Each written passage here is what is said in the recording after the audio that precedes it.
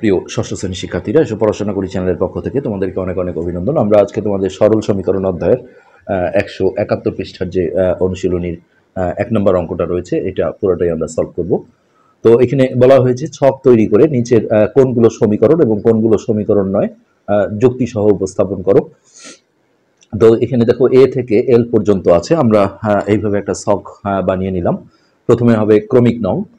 তারপরে বীজগাণিতিক সম্পর্ক, যেগুলো দেওয়া আছে ওগুলো সবগুলো বীজগণিতিক সম্পর্ক, কেননা ওর মধ্যে কিছু সমীকরণ আছে, কিছু সমীকরণ ছাড়াও আছে। এই ঘরে লিখব আমরা অজ্ঞাত রাশি অথবা চলক, একই জিনিস। এইখানে থাকবে সমীকরণ অবলিক সমীকরণ নয়।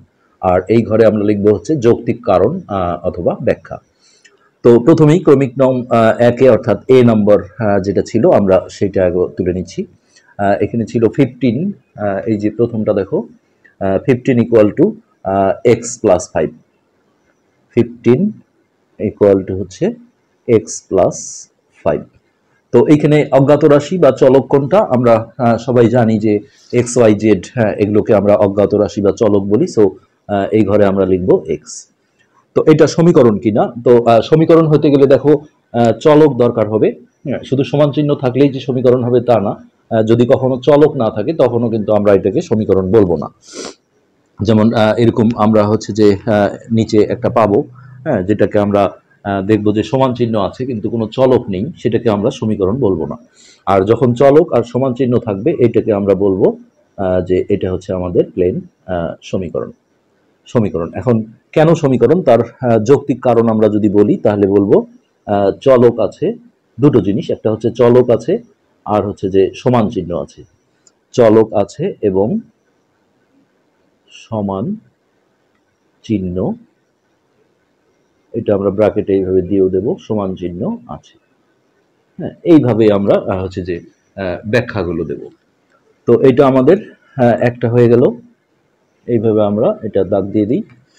আচ্ছা তারপরে বি নাম্বারে যেটা ছিল হ্যাঁ সেটা ছিল y minus six y minus six এখানে ব্র্যাকেট দিয়ে হ্যাঁ এখানে লেস দেন অর্থাৎ ছোট চিহ্ন দেওয়া ছিল। এটা হচ্ছে থ্রির চেয়ে ছোট। তো এখানে দেখো অজ্ঞাত রাশি বা চলক আছে, সেটা হচ্ছে ওয়াই। কিন্তু অজ্ঞাত রাশি চলক থাকলেই হবে না, সাথে সমান চিহ্ন থাকতে হবে। এই দুটো থাকলে তবেই আমরা এটাকে সমীকরণ বলব। তো এইখানে আমরা এখন এটাকে বলব সমীকরণ নয়। সমীকরণ নয়। তাহলে এর যৌক্তিক ব্যাখ্যা দেব, চলক আছে কিন্তু সমান চিহ্ন নেই। এটাকে অসমতা বলা হয়। চলক আছে কিন্তু সমান চিহ্ন নেই। সমান চিহ্ন নেই। বাস, এটা হয়ে গেল। এরপরে আমরা হচ্ছে সি নাম্বারটা তুলব। এইভাবে একটা একটা করে এখানে আসলে ছক করেই করতে বলা হয়েছিল। আচ্ছা তো সি নাম্বার। সি নাম্বারে যেটা ছিল সেটা হচ্ছে six by three six by three equal to হচ্ছে টু তো এইখানে দেখো কোনো চলকই নেই হ্যাঁ? তো এই অজ্ঞাত রাশি বা চলকের এই ঘরে আমরা লিখব যে নেই।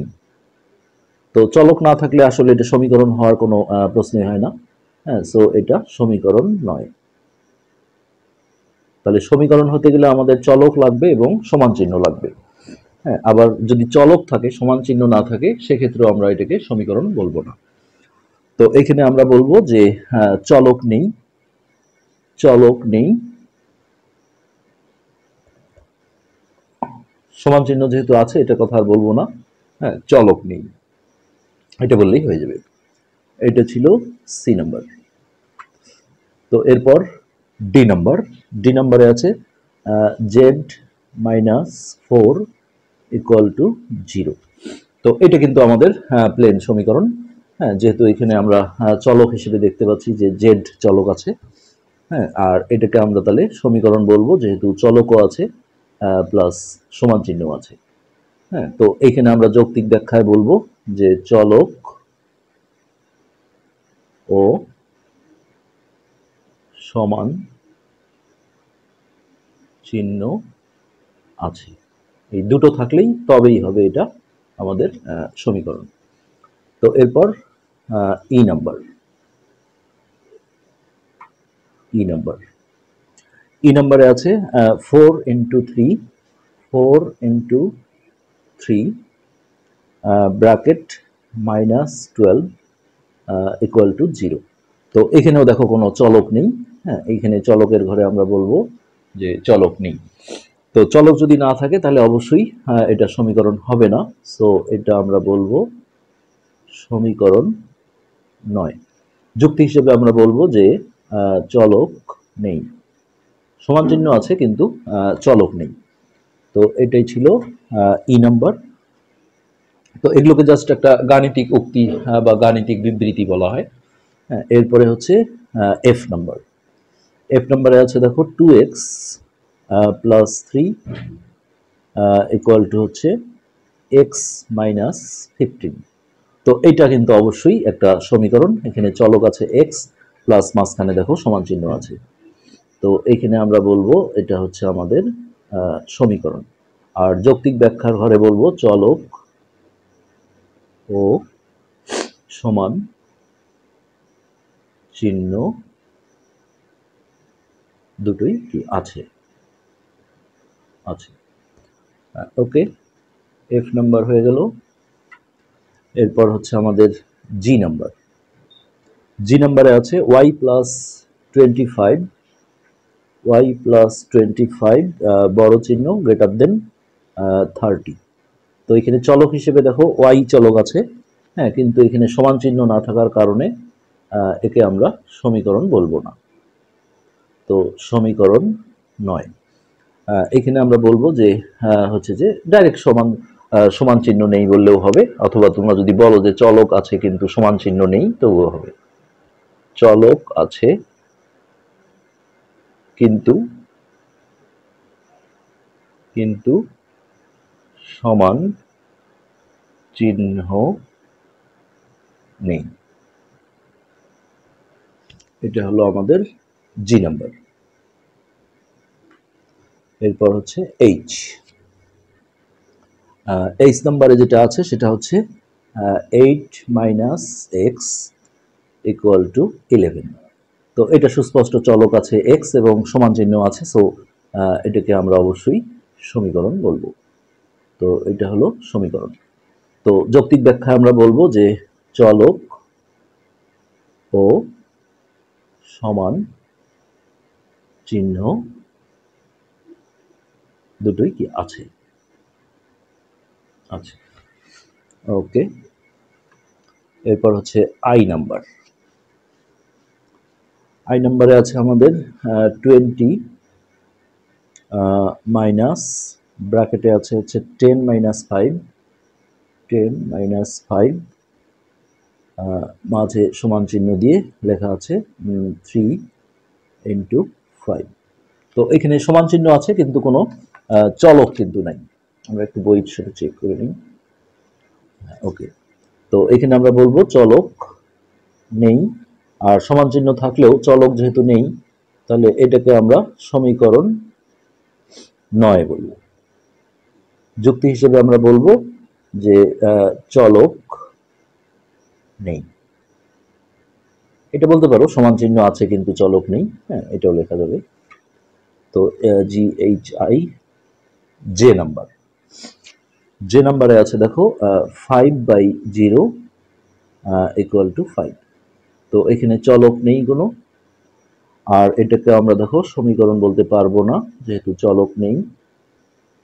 সমীকরণ নয়। হ্যাঁ তো এখানে কিন্তু জিরো দিয়ে আসলে কাউকে ভাগ করা যায় না, এটা অসীম হয়ে যায়, অসংজ্ঞায়িত বলা হয়। তো আমরা অত দূরে যাব না, এখানে আমরা সরাসরি বলব কেন আমরা সমীকরণ বললাম না? এখানে চলক নেই। চলক নেই। তো এরপর হচ্ছে কে নাম্বার, আর দুটো আছে কে কে নাম্বারে আছে ফিফটিন ওয়াই ইকুয়াল টু হচ্ছে ফর্টি ফাইভ এটা সুস্পষ্ট একটা আমাদের সমীকরণ, যেহেতু চলক আছে এখানে আমাদের ওয়াই তাহলে একে আমরা সমীকরণ বলব। আর যুক্তি হিসেবে আমরা বলব যে চলক ও সমান চিহ্ন আছে। এটা লাস্ট যেটা আমাদের হচ্ছে এল নাম্বার এল এল নাম্বারে ছিল আমাদের সেভেন ইকুয়াল টু ব্র্যাকেটে আছে ইলেভেন ইন্টু টু তার সাথে এখানে আছে প্লাস এক্স তো এটা অবশ্যই আমাদের সমীকরণ। এখানে চলকও আছে প্লাস সমান চিহ্ন আছে। হ্যাঁ তাহলে এইখানে আমরা একে বলব সমীকরণ। তো কারণ হিসেবে আমরা বলব চলক ও সমান চিহ্ন দুটোই কি আছে? তো এটাই ছিল এটার বিষয় যে যখন আমরা দেখব যে সমান চিহ্ন আসে প্লাস হচ্ছে চলকও আছে, তখন আমরা এটাকে সমীকরণ বলব। আর চলক আছে, কিন্তু সমান চিহ্ন নেই, এটা সমীকরণ হবে না। আবার দেখো যে চলক নেই, সমান চিহ্ন আছে হ্যাঁ সেক্ষেত্রেও কিন্তু সমীকরণ হবে না। তো এটা আশা করি তোমরা বুঝতে পেরেছ। হুম আজকের পার্ট আমরা আসলে এ পর্যন্তই রাখতে চাই। পরবর্তী পার্টে আমরা ধারাবাহিকভাবে বাকি বিষয়গুলো আলোচনা করব। ধন্যবাদ।